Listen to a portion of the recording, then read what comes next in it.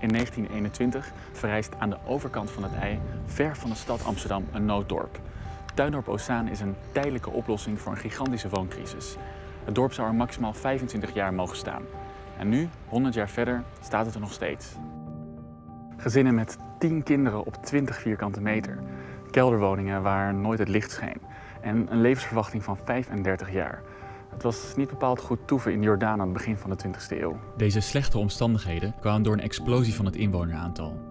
In 30 jaar tijd verdubbelde Amsterdam van 265.000 inwoners naar ruim 500.000. En dat betekende dat de huren stegen en de armsten in krotten en kelders moesten wonen. Deze crisis drong goed door bij de gemeentebestuurders.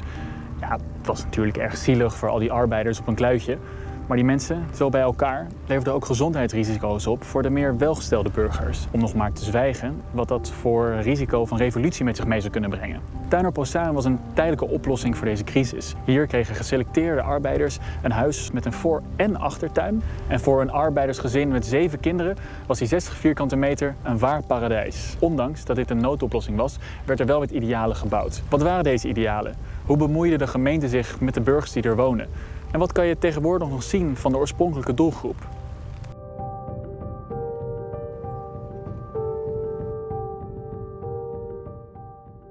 Er is dus een crisis en die wordt nog erger door de Eerste Wereldoorlog. Nu wordt er helemaal niet gebouwd. De staat grijpt in. Gemeentes kunnen een subsidie krijgen voor de bouw van noodwoningen. Deze mogen wel maar maximaal 25 jaar staan. Waar moeten die noodwoningen komen? Nou, bijvoorbeeld aan de overkant van het ei. Hier was veel goedkope grond, ruimte en er waren net twee scheepswerven gebouwd. Dus met de werkgelegenheid zat het wel snor. Zo verrijst in 1924 midden in een onafzienbare grijze woestijn van opgespoten bagger een dorp met 1320 woonhuizen, kleine straatjes met korte zijwegen, veel pleintjes en een centraal gemeenschapshuis.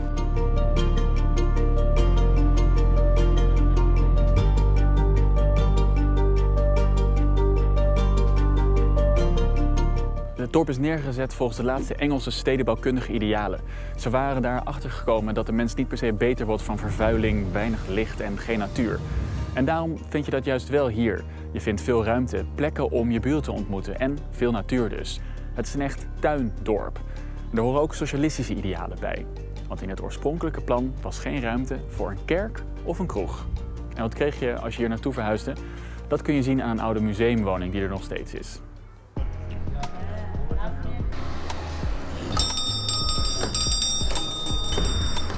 Goeiedag. Hi. Mogen we er binnen? Je mag er binnen. Ja? Kom verder. Oké, top. Dit is allemaal nog eh, originele, originele staat. Dit is al bijna 100 jaar zo'n beetje nu in een helemaal oude staat.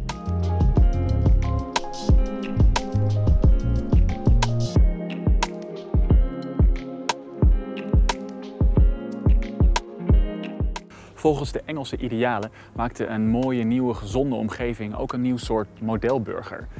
En dat viel een beetje tegen. Arie Kepler, de directeur van een gemeentelijke woningvoorziening, die merkte het volgende op toen hij een keer op bezoek kwam. Bijzonder eigenaardig was de gewaarwording dat elke nieuwe bewoner zich het buitenleven niet anders kon denken dan met het houden van kippen en ander gevogelte.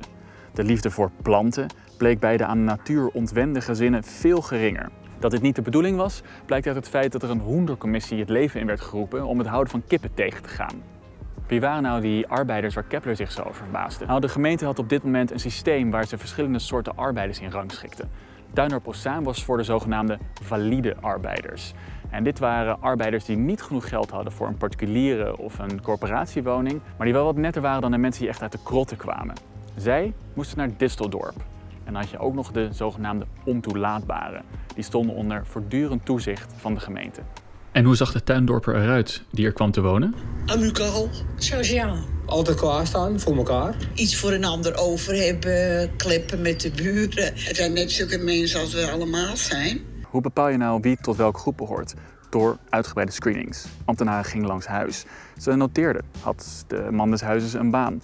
Werden de kinderen geslagen? Werd de afwas gedaan? Als er een positief rapport werd gemaakt, dan werd het naar de gemeente in Den Haag gestuurd. Waren zij het ermee eens, dan kon je naar Tuindorp Ozaan. En nu was het niet zo dat de verse tuindorpers daarna met rust werden gelaten door de gemeente. Nee, door het gemeenteinitiatief Ons Huis waren ze nooit ver weg.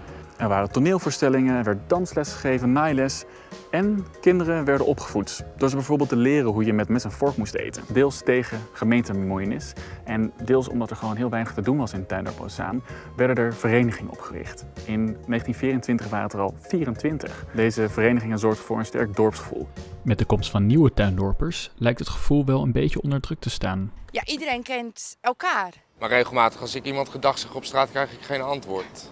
Terwijl ik zie dat mensen elkaar wel uh, gedag zeggen op straat. Ja. De gemeenschapszin kon niet verbloemen dat dit toch echt een noodproject was. Dat kun je ook lezen in deze brief van de bewonersvereniging van Tuindorp Ozaan.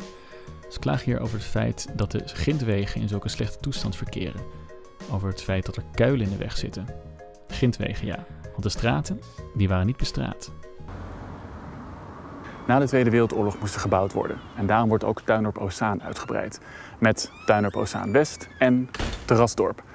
Ook al ken je dat laatste misschien beter als Tutti dorp.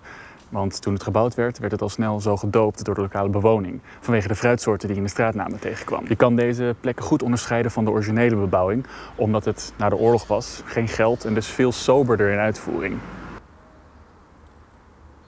termijn voor het slopen van de woningen werd steeds uitgesteld.